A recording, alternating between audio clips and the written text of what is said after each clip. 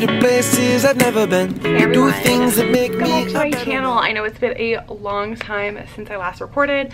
Um, but yeah, I've been working on a few things and now we're back in action. Um, let's just do this super chill. I'm just sitting on my bedroom floor and Josie's sitting beside me. Um, I actually did a live slash I posted it to my Instagram, my skincare routine. So my skin's all prepped. I've already applied my sunscreen and we are going to get into the makeup. Now, I'm super excited you guys because doo -doo -doo I have the Westman Atelier, uh, sorry, Westman Atelier. This is the Vital Skin Foundation Stick and I have the shade Atelier 2 um, so yeah, I'm just gonna draw this on my face. It's super, super smooth. I've used this twice already. The color looks great. And I actually really like how creamy this is. When I used to wear conventional makeup, I really liked the Hourglass stick foundation. And this heavily reminds me of that but like the packaging just like look at that isn't that just beautiful yeah i'm obsessed and it's magnetic.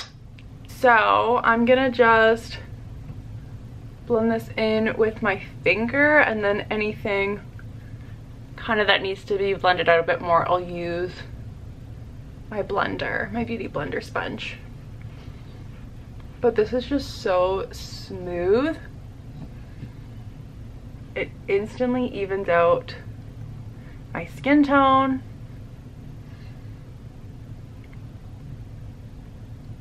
Now I'm not gonna lie, this stuff is expensive. Canadian, I think it's almost like $90. And if you're Canadian, I was able to find this on Saks. The only issue is that I self-tanned and now my neck is just slightly darker than my face, but I'll just blend that out with some bronzer just to brighten up my face. So pretty light coverage, but I do like that it evened everything out. Um, I am going to go in with a tiny bit of concealer just under my eyes, um, just because I feel like I could use a bit of extra concealing under there. And because I've had a bit of time in the sun, my freckles are coming out. They're a bit more apparent on my forehead and my nose. There we go, I feel like that helped even everything out. Gonna set with a bit of um, setting powder this just got all over my hand. Oops. It's a lot of powder. It's gonna dust that all over. Really focus it under my eyes because I feel like that's where I get the most amount of creasing. Let's do bronzer. So I'm gonna use my Ilia bronzer in Drawn In. I've been using this a ton lately. You can kind of almost see the rim of the pan that's how much I've been using it. And I'm using this Tarte brush. I've been loving this brush lately because you can just like really easily chisel out. This is helping to bronze up my face and just match my face to my neck. But this is the Luna Bronze um, Total Eclipse Dark Tanning Mousse it made me super dark in comparison to the other ones I've tried so far. But this actually suits the tan really well. It's a little bit warm, but like still kind of olivey. I really want to try the Westman Atelier. I think it's like their butter bronzer, but that is expensive. It's like $95 or something Canadian for a bronzer. It's a little steep for me. Just a little bit. I think it's like even more expensive than like the Chanel bronzer I used to buy. Yes, love that. Like look how nice that looks. I feel like I just like chiseled out my cheekbones, but also warmed up my face. I also have the Westman Atelier Baby Cheeks Blush Stick in the shade Petal, which is this like really pretty,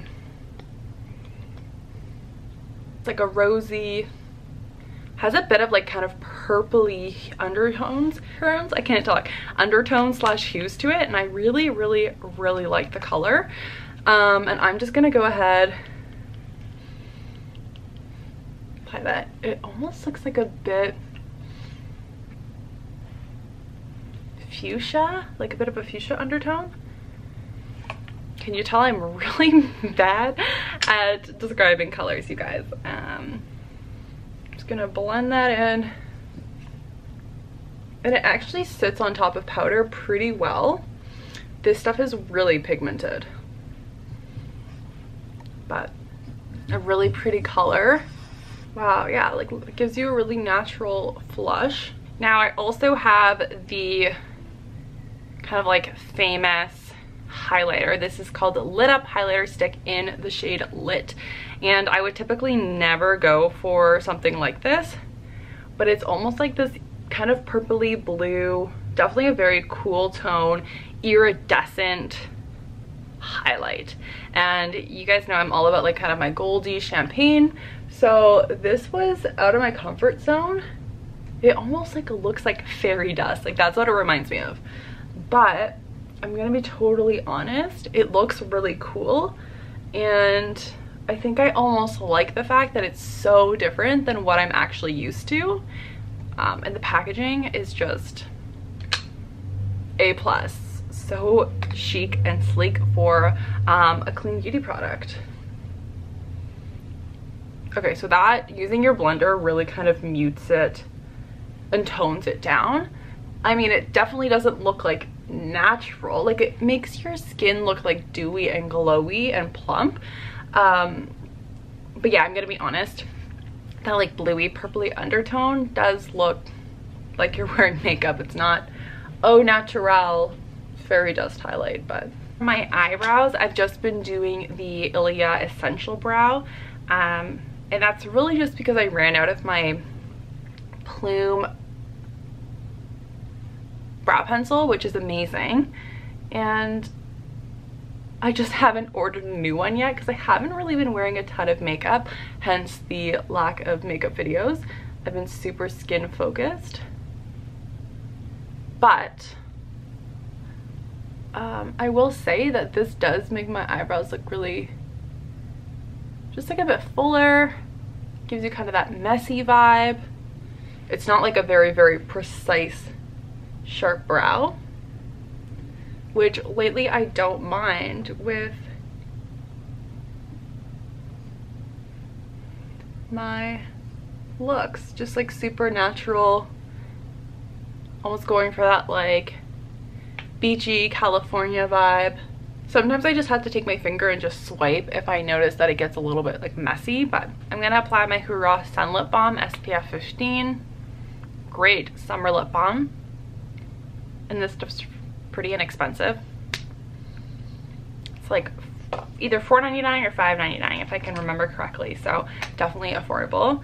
Um, honestly, for my eyes, I am just going to dust with a really massive brush because I don't have a proper eyeshadow brush my bronzer.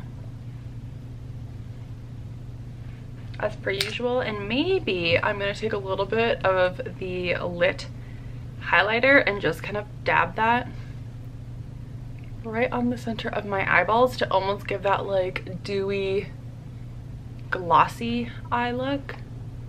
I don't know if this is gonna crease or what it's gonna do, but we'll see. It might crease. I guess we'll find out. It didn't do a lot, but it kind of just brightened up my eyes a bit and I think it gave me kind of that dewy glossy eye look. I'm gonna use my Sappho mascara and let's pop that on. Haven't used this guy in a while. I've been really into both my Fitglow and the Ilia Limitless Lash, but this is one of my top ones.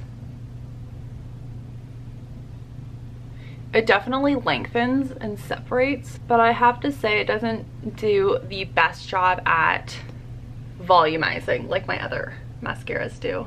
But it does a good job at grabbing onto those baby bottom lashes.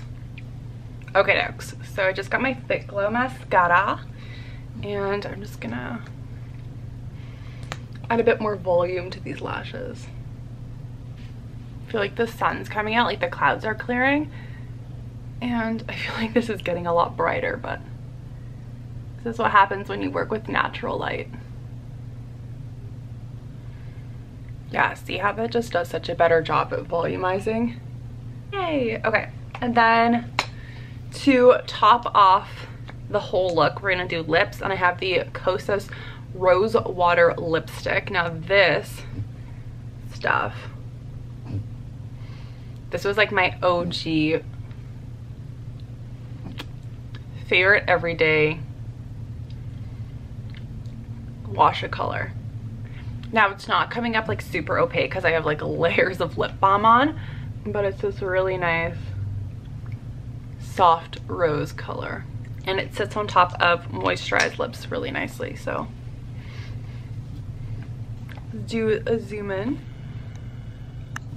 So you can kind of see, maybe I'll just add a tiny bit more of my highlight to amp that up.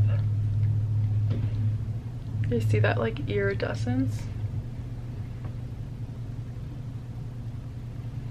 My tree outside is like blowing and hitting my window.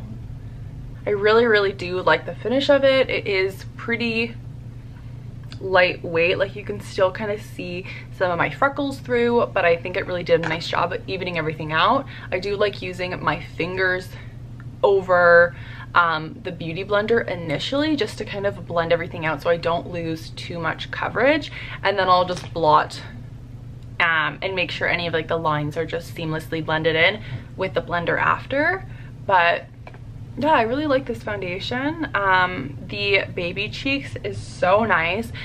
It's kind of expensive and very similar i would say to the ilia multi sticks in terms of like the colors this has six grams and this has 4.5 so there is more product in the westman atelier let's see this is actually a really similar color so you guys can see this one is Lady Bird.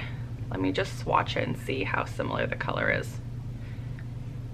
Similar, but I wouldn't say exactly the same. So that is the Westman Atelier. Again, it's called Petal, and this is Ladybird.